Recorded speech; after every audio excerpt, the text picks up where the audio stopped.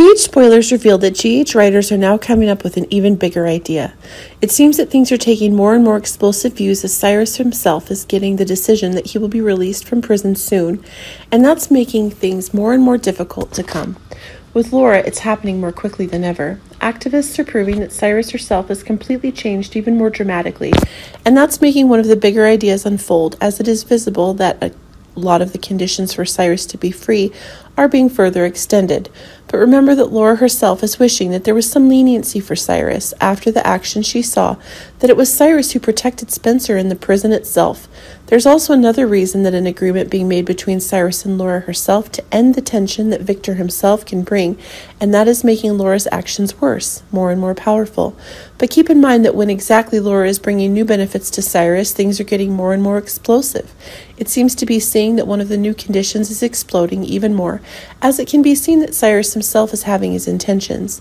It should be remembered that although it is being confirmed that it's precisely that new explosive conditions are taking place, when Laura herself is confirmed that Cyrus herself is completely normal after the conditions that the religion he is following, the pursuit is making Cyrus himself change more rapidly than ever.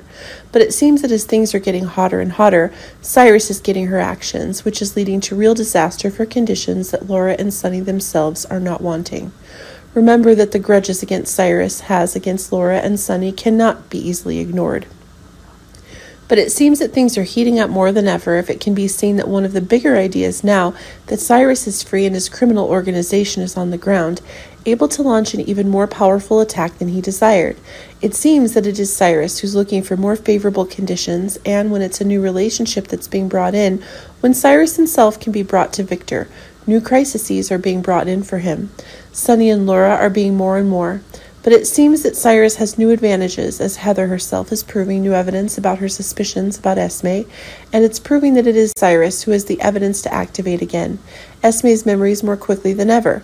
This is proving that it is Esme who will become an important person in the same destruction plans that Victor and Cyrus themselves, and that is making things gradually become more catastrophic than ever.